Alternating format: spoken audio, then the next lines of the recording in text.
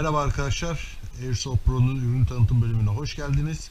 Ee, geçenlerde videosunu paylaştığım Tornado Granite'in e, kutu e, açılışını size göstereceğim. E, ürünü AJ Airsoft'tan aldım ve ürün bana yaklaşık 10 gün içerisinde teslim oldu. Günlükte herhangi bir sıkıntım olmadı. Şu anda kutuyu açıyorum. Kutunun içerisinden neler çıktığını size paylaşacağım arkadaşlar. Bildiğimiz Tornado Granite'imiz. Bu Tornado Granite Crash Impact olanı. Bir de bunun süresi, sürelisi var. Ee, kutunun içerisinde başka bir şey yok. Bu kılavuz zaten bu e, önceki aldığım Tornado Granite'in şeyi. Bu ortalama aydır bu kullanma kılavuzlarını e, elinize kalsın çünkü bu Tornado Granite'ler e, özellikle Crash Impact olanları e, sert yüzeye çarptığı zaman tetikleniyor ve burada bu e, mekanizmayı kurarken de ufak bir puzzle var. Yani tabii yakın zamanda e, ezberlersiniz ama yine de bu e, broşürü saklayın. Yani olur bayağı uzun süre kullanmazsınız unutursunuz falan ve burada zaten bütün bakımıydı şuydu böyle anlatılıyor. Dediğim gibi içinden e, granate çıkıyor. Bir de e, özel yağ var. Bu granate oil diye deniyor. E, şimdi bunu açınca size göstereceğim ne olduğunu. Neyse açtık. El bombamız. Bunun siyah rengi ve turuncu rengi var. Bende iki turuncu rengi gelmişti. İkinci siyah rengi. Hiç fark yok. İkisi hepsi aynı. Hani sadece renk farkı var. Dediğim gibi. Şimdi ee, bir pim geliyor içerisinde. Bir de kurma mekanizma parçaları geliyor. Bu parça işte dedim ee, şu şekilde isterseniz hemen kurulumuna başlayalım. Ancak hemen bir uyarı yapmak istiyorum size. Tornado granitizi kurarken kesinlikle gözünüz gözünüze takılı olsun. Ee, bazen istemeden de patlayabiliyor. Onun için e, emniyetimizi alalım, gözlüğümüzü takalım. Şimdi şunu da açalım. Bu arada eldiveni çok sevdim. Bu tür işler yaparken yani böyle işler yaparken hiç çıkartmıyorum. Gerçekten yani hakkını veriyor eldiven. Şimdi bu mekanizmayı çıkartıyorsunuz. Gördüğünüz gibi burada tam dört parçası var. Şu üst kısmı açıyorsunuz. Burada bakalım. Üst kısmı açıyorsunuz.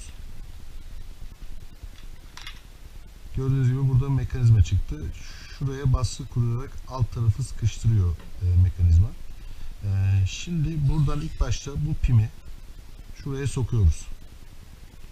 Bu pimde bir iki yöntem var. Mesela bu pimi böyle çekemezsiniz. Şu şekilde bastırıp öyle çekebiliyorsunuz. Yani bu şekilde bastırmayın çünkü düşebilir bu şekilde. Çok rahat çıkıyor. Bu takarken taktıktan sonra biraz bastırın ve şey yapın. Sonra pimi kaybetmeyin. Yani tek pim çıkıyor içerisinde. Sonra e, şifayen bir sistem falan uyarlamak çalışırız. Yani mekanizma çalışmaz. Çünkü mekanizmanın işleyebilmesi için pim çok önemli. Pimi taktık. Pimi taktıktan sonra ben tabi burada e, ezberledim tabii ki de birkaç sefer kurarak. E, şu şekilde mekanizmayı kuruyorsunuz. İlk başta iri parçayı koyuyorsunuz.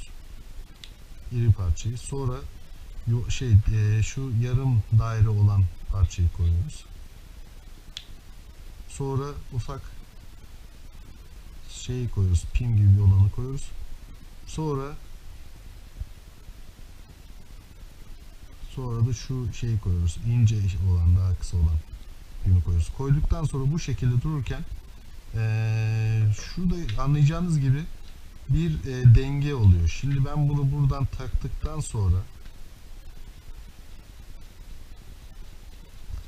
ters takmanıza fayda var. Çünkü hemen hızlı çevirirseniz düşebilir. Sonra bir kez girdikten sonra çevirebilirsiniz. Güzelce sıkışın. Sıkıştırdıktan sonra alt kısmı açıyorsunuz. Alt kısımda gördüğünüz gibi gaz doldurma valfi var. Puftino gazlı kullanmanız tavsiye edilir. Düşündüğünüz kadar çok e, boncuk şey gaz almıyor. Hatta yani bir dolduktan sonra çok baskı oluyor. E, şimdi isterseniz hemen e, koyalım tabi. Boncuk yüklemesini göstereceğim. Yani boncuk yüklemesini açık alanda yapacağım çünkü odada yapmak istemiyorum. Şuradan loader'la e, yapabilirsiniz şu şekilde.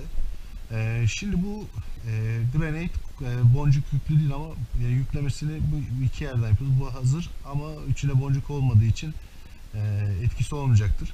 Bu şekilde pimi takılıyken hiçbir sıkıntınız yok. Yani kesinlikle patlamaz. Sert düşse de eee, atsanız da patlamaz.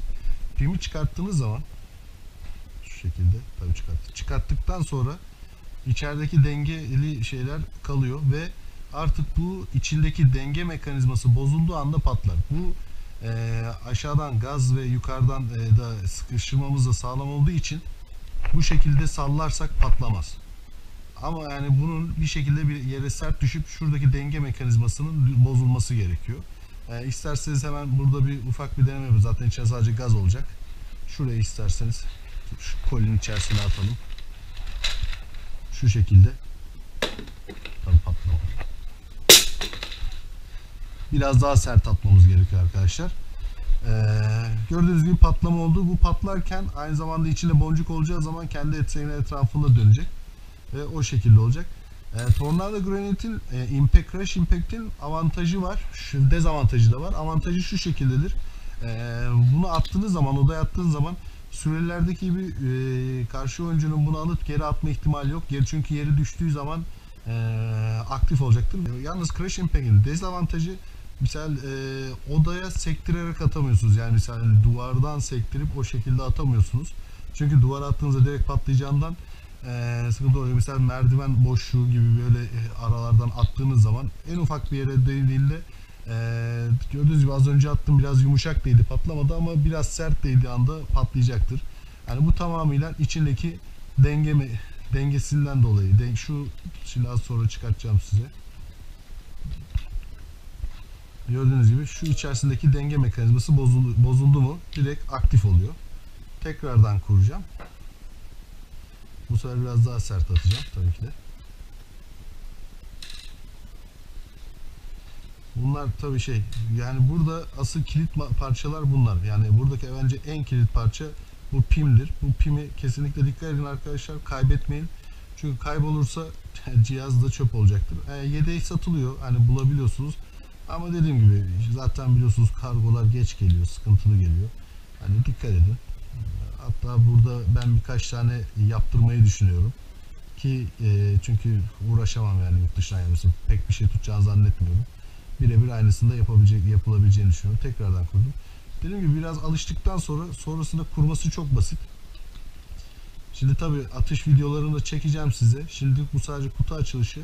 Ee, onları da daha kısa tutacağım çünkü bu videoyu fazla uzun tutmak istemiyorum. Sadece e, kullanış şeklini göstereceğim size.